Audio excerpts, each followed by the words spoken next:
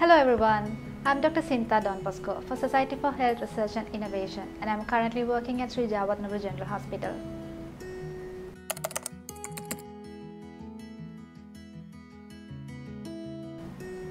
My journey began with Society for Health Research and Innovation when I went to register myself for the Good Intern program in 2015. The volunteers with leadership quality were invited and I took that opportunity to provide my service to this dedicated organization. And there I started my journey with Society for Health Research and Innovation.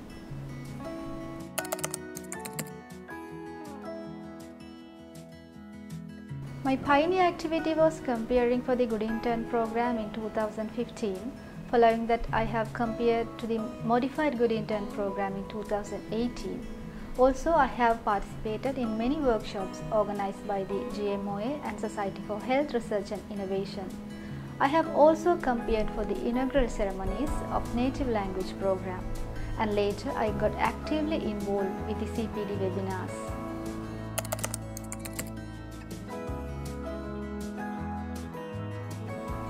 Continuous medical education is one of the compulsory academic activity in medical profession to enhance the knowledge and skills of the medical officers.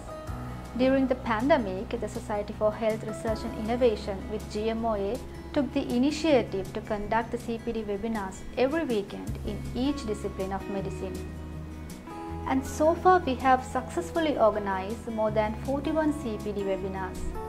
CPD points are strictly adhered to the guidelines set by the National Center for CPD in Medicine.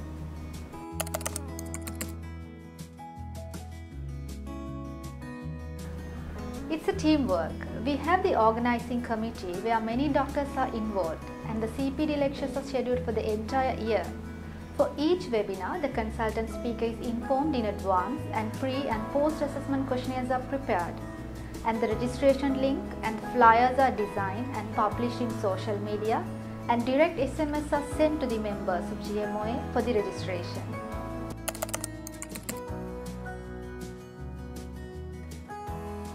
The shortcomings, uh, we are lacking with resources. First we need volunteers with good computer literacy and we need moderators with good communication skills. We also need dedicated sponsors to improve the standard of our CPD webinar.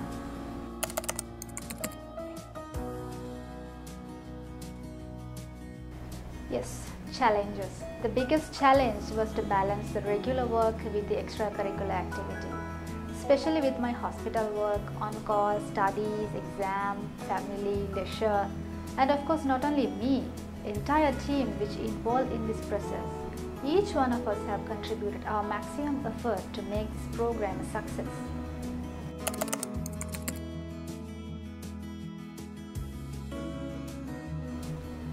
First of all, it's a free webinar. Every medical officer can enjoy joining this from wherever they are and each successful participant is entitled for a CPD certificate and the CPD points. And the recordings of these webinars are uploaded in the YouTube.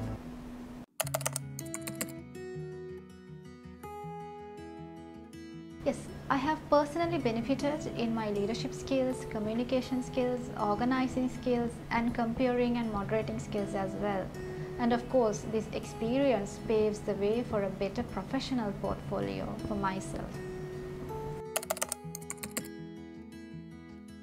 Achievement. Um, my service has been sincerely appreciated by the GMOA and Society for Health Research and Innovation hierarchy and I have been awarded with a beautiful plaque in recognition.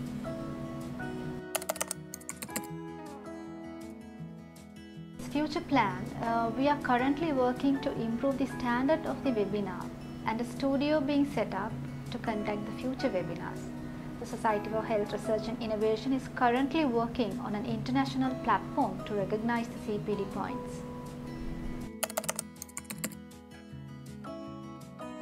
At this moment, I would like to show my sincere gratitude to the GMOA and Society for Health Research and Innovation for all the support and the encouragement given to me and the trust they had on me. I would like to send a message to all the junior doctors with leadership quality to approach the Society for Health Research and Innovation for a wonderful professional future. Thank you.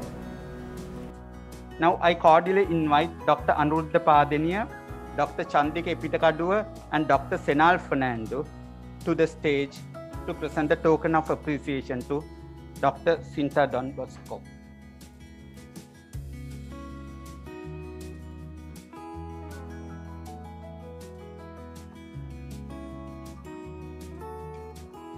Uh, I'm glad that I got this opportunity to work with such a dedicated organizations, GMO and Society for Health Research and Innovation.